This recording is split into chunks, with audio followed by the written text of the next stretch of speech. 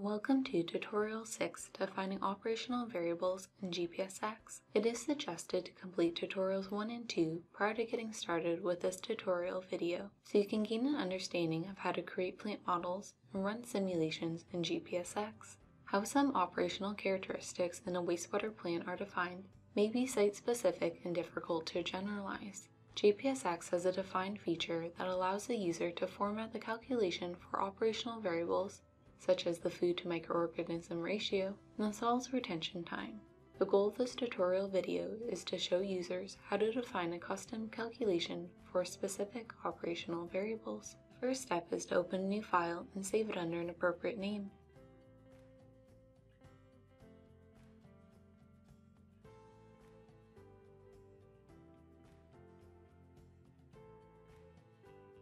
Turn on the grid lines under View Display Grid Ensure that you're using the Mantis 2 library option. We will now create a plant layout. Looking to the process model objects, within the influent group, drag a wastewater influent object to the drawing board. In the flow combiners and splitters group, drag a control splitter and a two flow combiner.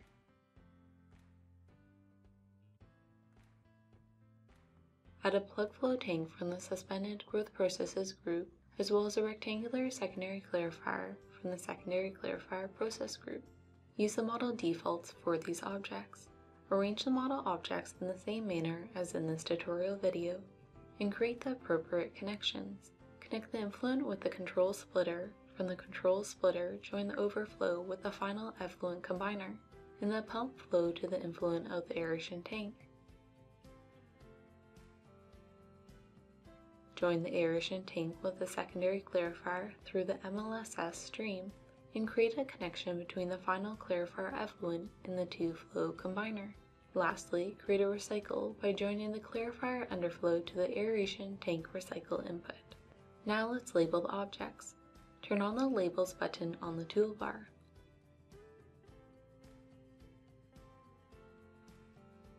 Label the influent object as raw influent and the influent stream raw.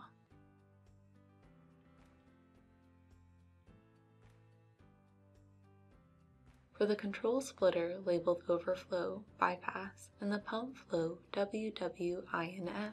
The control splitter is going to be used to simulate a bypass weir.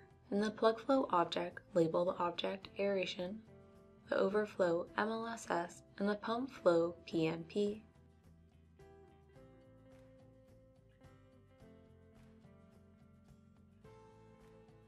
The secondary clarifier object can be labeled final clarifier, the overflow FE, pump flow WAS, and the underflow RAS.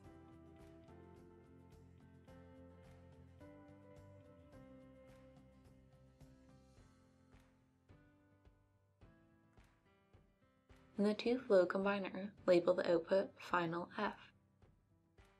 We will now make alterations to the clarifier underflow properties. Right-click on the clarifier and go to Input Parameters, Operational. Within the Underflow section, turn on the Proportional Recycle and change the stream label to which recycle is proportional from blank to WWINF. This means that the underflow rate is now going to be proportional to the influent to the aeration tank. We will keep the recycle fraction to 0.8 as it is acceptable for this example. Now within the pump flow section, change the pump flow value from 40 to 100 meter cube per day. This pump flow value represents the wastage rate from the clarifier. Accept the form. We will now define the mass flow of the effluent solids. This is simply the effluent suspended solids multiplied by the effluent flow rate. From the Define Wizard menu, select Mass Flow from the available options. In the Stream Choice panel, select Bypass, FE, and Final F. The only variable of interest is the total suspended solids. Select this from the Variable Choice menu under the Composite Variables heading. Accept this form and save your model layout. Switch into Simulation mode.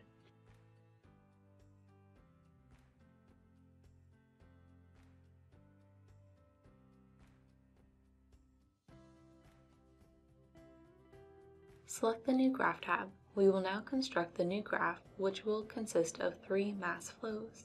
Right-click on the clarifier FE connection point and select Output Variables, Defined Variables, Mass Flow. Drag the mass flow total suspended solids variable to the blank area of the new Output Graph tab. Repeat for the bypass and final F streams so that all three mass flows are being displayed on the same graph.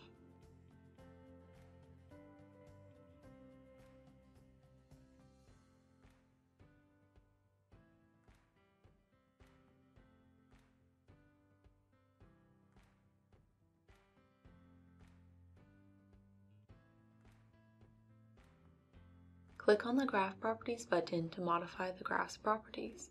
Label the graph mass flows and set the max values on the axis to 1000 kg per day. Make sure to change the units from the default of grams per day to kilograms per day.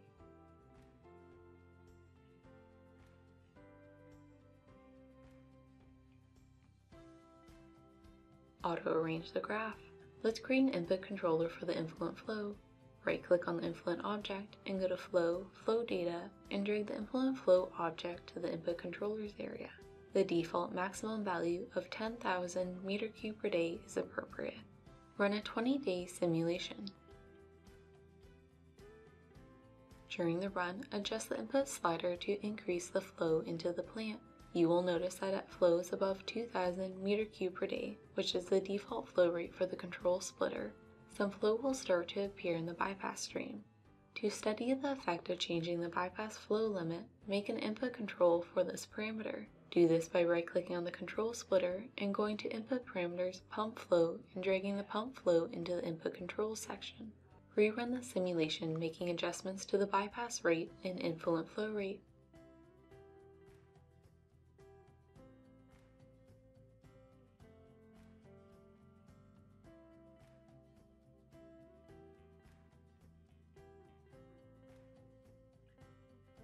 Save the model layout.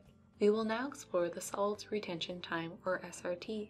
Switch into modeling mode and access the SRT manager from the define menu. Within this window, click on the green plus button and enter in a name for the SRT variable. Note that SRT will be automatically appended to the end of the name. Accept this form. You will notice that an equation appears. Move the SRT window off to the side of the drawing board so you can see the entire model layout. The numerator represents the mass of solids held in each tank.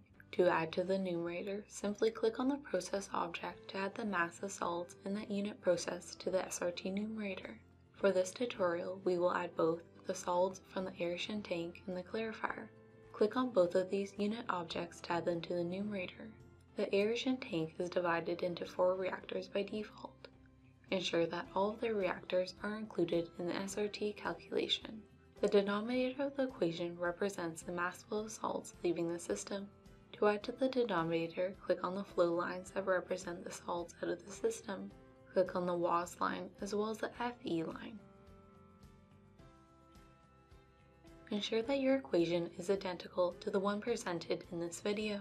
We will now remove the mass of solids in the clarifier to demonstrate the ease at which adjustments to this formula can be made. Simply click on the clarifier to remove it from the equation. Close the SRT Manager window and save the layout. Switch into simulation mode.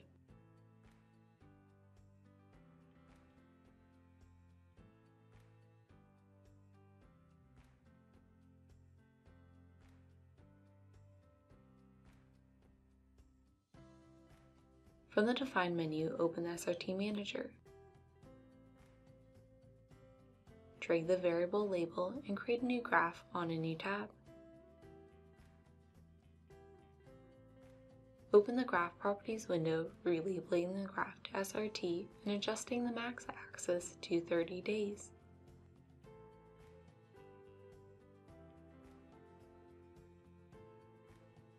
We will now add a controller for the WAS pump flow to explore the effect that the wastage rate has on the SRT. Right-click on the secondary clarifier and go to Input Parameters Operational and drag the WAS pump flow to create a new input controller. Run a 20-day steady-state simulation, making adjustments to the WAS pump flow and viewing the effect on the SRT.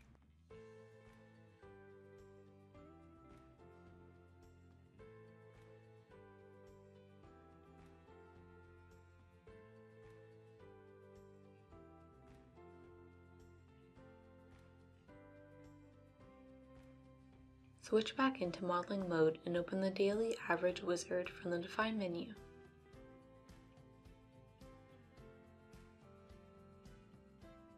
Change the variable type to define variables from the drop-down menu.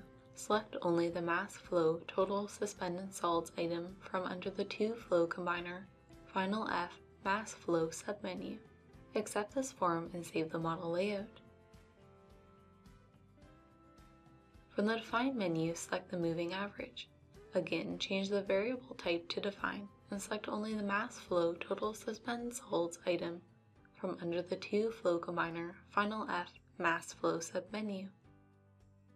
Switching to simulation mode.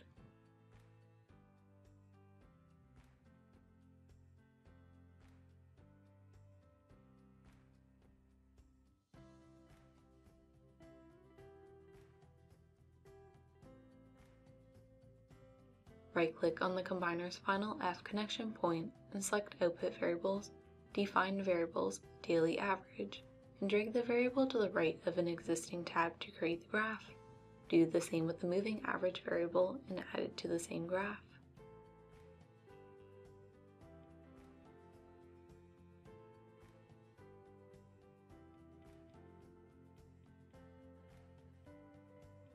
Open the graph's properties and change the graph name to daily and moving average flows, setting a maximum value of 1000 kg per day for both variables.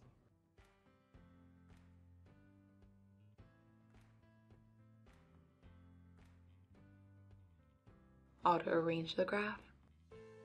Run a 20-day simulation adjusting the influent flow rate to observe the effect on the daily and moving averages.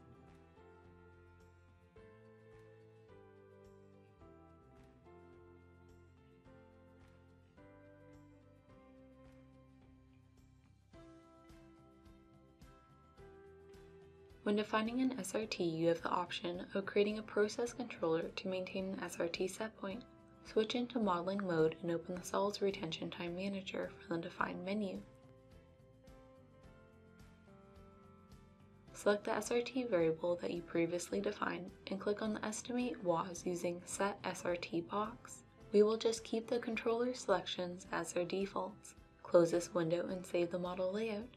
Switch into simulation mode.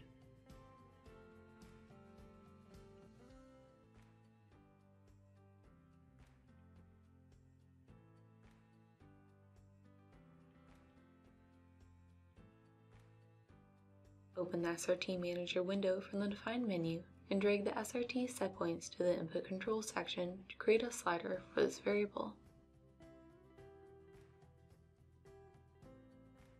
At this time, also drag the Estimate WAS using Set SRT to the Input Controls tab. This creates an on-off switch for the process controller, removing the need to open the SRT Manager in modeling mode if you want to turn the controller on or off. Open the controls properties and change the maximum value to 30 days for the SRT set point. In the same tab as SRT graph, we will add a graph for the WAS pump flow. Select the Graph tab containing the SRT graph and make the graph slightly smaller to open up some blank space. Click on the WAS stream connection point and select Flow from the Output Variables menu. Drag the WAS flow variable to the blank space in this Output Graph tab. Open the Graph Properties window and change the graph name to WAS flow and the maximum value to 500 meter cube per day.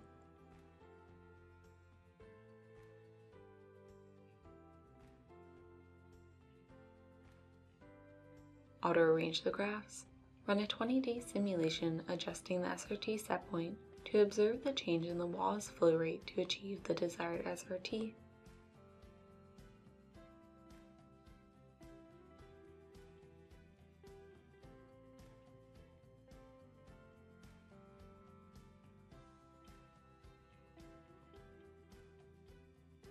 Save your layout.